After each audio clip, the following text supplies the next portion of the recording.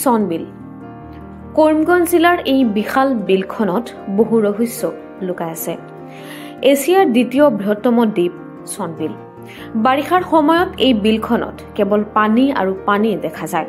যিমান দূৰ চকু দিব কেৱল পানীহে দেখা পাব।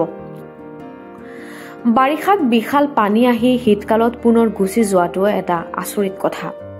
এই বিলখন জৈৱ বৈচিত্ৰ্যৰ ক্ষেত্ৰত গুৰুত্বপূৰ্ণ ভূমিকা পালন কৰিছে। চনবিলৰ বৈশিষ্ট্য হ'ল যেতিয়া পানী নাথাকে তেতিয়া ইয়াত বড়ো ধানৰ খেতি বহুত হয়। পৰ্যটকসকলে মূলতঃ এই জলাশয়ৰ প্ৰাকৃতিক সৌন্দৰ্য উপভোগ কৰিবলৈ চনবিললৈ আহে। চনবিলত আহিলে কৰিব লাগিব নাও ভ্ৰমণ। গতিকে এই অঞ্চলৰ মানুহৰ অধিকাংশ পেচা নাও চলোৱা আৰু মাছ ধৰা। কিন্তু যিহেতু ছমাহ ধৰি চনবিলত পানী থাকে গতিকে বাৰিষাত নাও চলাই পৰিয়াল পোহপাল দিয়ে তেওঁলোকে। কিন্তু খৰালি কালত কি কৰে? কেনেকৈ চলাই পৰিয়াল? কি কয় নাৱৰীয়াসকলে? শুনক। এছিয়াৰ দ্বিতীয় বৃহত্তম বিল হৈছে কৰিমগঞ্জ জিলাৰ চনবিল। আৰু চনবিলৰ আটাইতকৈ বেছি তেওঁলোকৰ যি পেচা হৈছে সেইটো হৈছে নাও নাৱৰীয়া যি জীৱন। নাৱৰীয়া জীৱনেই হৈছে তেওঁলোকৰ এটা পেচা চনবিল যিহেতু প্ৰাকৃতিক দৃশ্য মানুহে উপভোগ কৰিবলৈ আহে।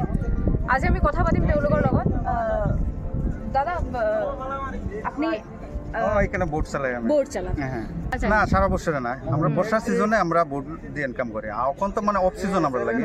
ওখানে কেন উৎসব চালু হওয়ার সাথে আমরা মানে বোর্ড নিয়ে তখনও আমরা বোর্ড এখনও চলেন না। খাড়া করে রাখছি আমরা লাইনে যদি কেউ শর্ত চায় তাহলে আমরা তিনশো তিনশো টাকা আমরা লই অলরেডি একটা বোর্ডের ভাড়া। আচ্ছা। এখান থেকে মিডিলও যাইমো মিডিল থেকে রিটার্ন ঘুরাইয়া লই আইমো এখানে ফটো ফটো উঠিয়া এখান থেকে নামাইয়া দিম। তিনশো টাকা আমরা রাখি। কত ঘণ্টা চলে এটা একটা বোটে মিনিমাম ঘণ্টা ঘন্টাখানেক সময় যায় গিয়ে। আপনার একজন যাওক চার দশজন যাওক আমরা একটাই বোট এখান থেকে বাইর করব। তো অফ সিজনে আপনারা কি করেন? অফ সিজনে আমরা তো এখন জল নাই। জল কমে গেছে আমরা বোট উঠে রাখি দিই আর অফ সিজনে তো আমরা কাজ কাম করি এটাই। কেউ ড্রাইভিং করে কেউ অন্য কাজ করে এরকম আমরা জীবিকা ইয়ে করি। আমরা বর্ষার মনে করতো চার মাস আমরা ভালোই চলে বোট আর বাকি যে ছয় মাস আছে আমরা হয়তো জলের লাগে অপেক্ষা করি। কোনো সময় জল একটু তাড়াতাড়ি হয় কোনো সময় জল একটু লেটে আয়। তার জন্য আমরা বোট এখানে খাড়া করে রাখি দিই আর যে হোক যারা বোট চালায় অন্য অন্য একটা কাজ বা কারবার নেওয়ার ব্যস্ত থাকে।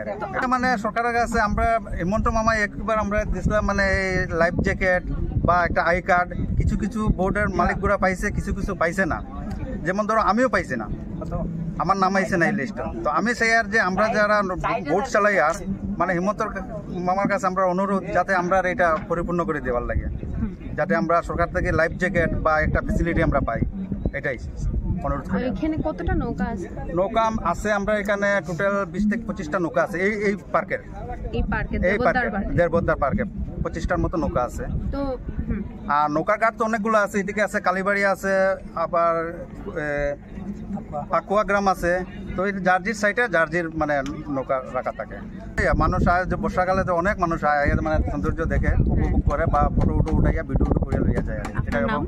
আমার নাম দয়ামা দাস। ওই ওই গ্রামে বাড়ি দেবদার গ্রামে বাড়ি। দিলে সত্যই ভালো হয়। হুম, এখানে মানে গত সিজনে কিছু মানুষে লাইফ জ্যাকেট পাইছে। আমরা কোনো একটা কারণে আমরা লাইফ জ্যাকেট পাইছি না।